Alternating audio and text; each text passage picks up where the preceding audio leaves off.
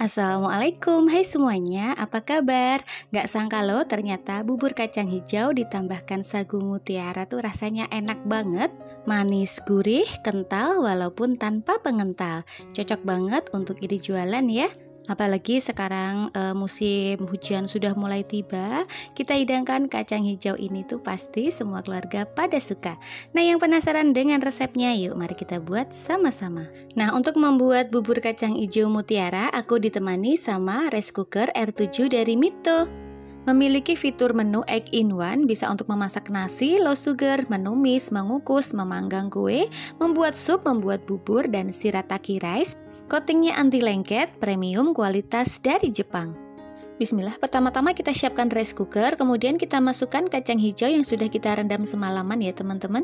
Kita masukkan juga sagu Thailand, daun pandan, jahe, dan air.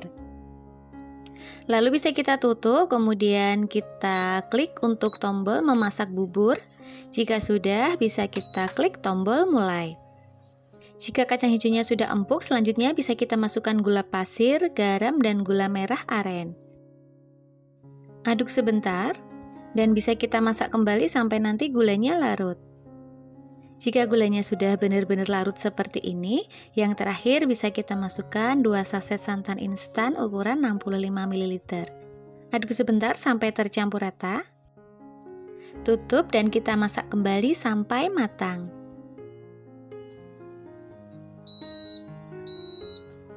Alhamdulillah bubur kacang hijau kita sudah matang dan siap untuk kita sajikan.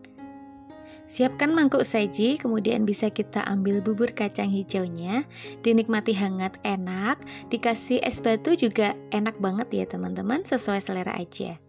Yuk mari kita icip-icip bagaimana rasa bubur kacang hijau sagu Thailand yang sudah kita bikin. Bismillahirrahmanirrahim. Hmm, Masya Allah rasanya tuh enak banget teman-teman wajib coba ya.